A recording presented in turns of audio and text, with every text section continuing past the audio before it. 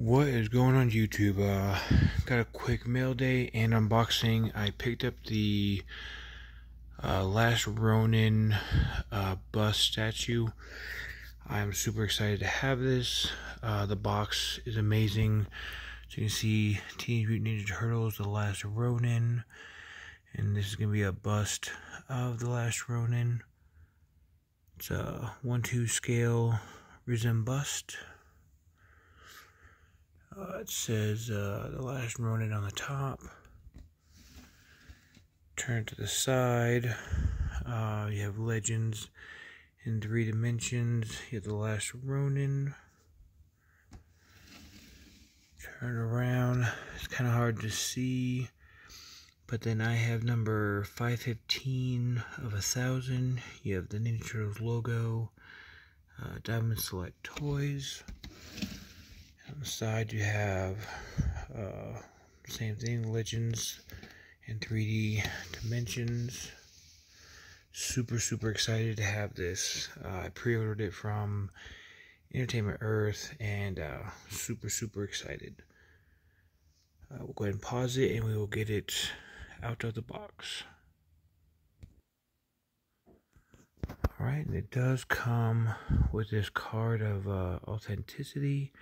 You see it's number 0515 of a thousand from Diamond Select Toys. Super, super awesome. It comes in this uh, kind of like heavy duty uh, styrofoam and it was wrapped in a bag as well. But here is the bust statue. Oh man, this thing is amazing. The detail on this guy is super awesome. He got his goggles, uh, he has his nunchucks, uh, some shoulder pads, super awesome. Just the detail on this guy is just super, super cool. See his face right there. Just the detail on this. It's a nice uh, base as well. This thing, it's got some weight to it. We'll turn it to the side here.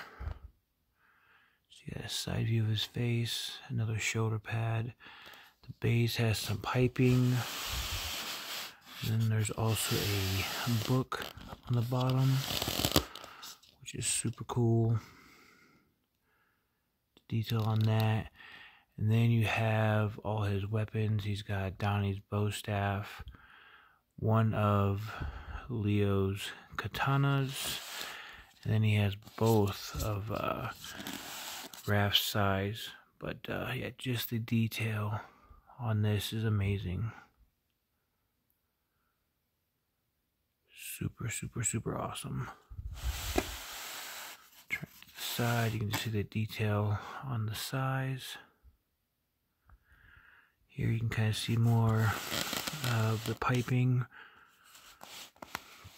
And then you have his hoodie, which looks really, really, really cool. But yeah, he's grinning like he's ready to fight. But yeah, this thing is super, super, super awesome. I am so glad that I do have one. It was a little pricey, but it is worth the money. Uh, it was 175 plus tax. But yeah, I absolutely love this bust of uh, the last Ronin. Super, super, super awesome. And like I said, it's got some nice weight to it. So it's not going to tip over, fall, or anything like that. But if you were to drop it, you would probably snap the nunchucks, the sword, the bow staff, the sai. But, uh, yeah. Super, super, super cool. So, yeah, just a quick little review of the last Ronin bust. So, as always, let me know what you guys think, and we will see you next vid. Peace.